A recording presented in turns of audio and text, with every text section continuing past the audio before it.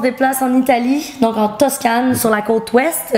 Euh, on est un peu au nord de la DOC de Bolgheri. On est à Bibona avec le Intoglio del Cinghiale, fait par Campo di Sasso. Une grande famille de vinificateurs euh, qui ont déjà de l'expérience derrière la cravate, si on peut dire. Hein.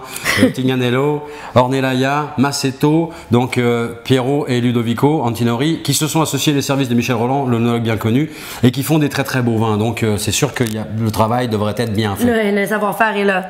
Pour l'assemblage de ce vin-là, on est sur 30% de Syrah, 30% de Merlot, 30% de Cap Franc, avec un petit 10% de, de petits verres d'eau.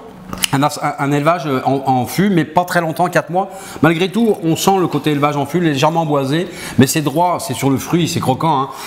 Le, bois, est, à la place où il doit être, sans plus ni moins. Moi, j'aime beaucoup ça parce que j'aime la fraîcheur aussi. Très frais. Euh, en bouche, ça reste encore croquant de fruits. Il y a encore ce côté un peu sanguin qu'on aime bien, qu'on au nez. Légèrement animal, bien équilibré, c'est du super beau. Ouais, exact. Superbe.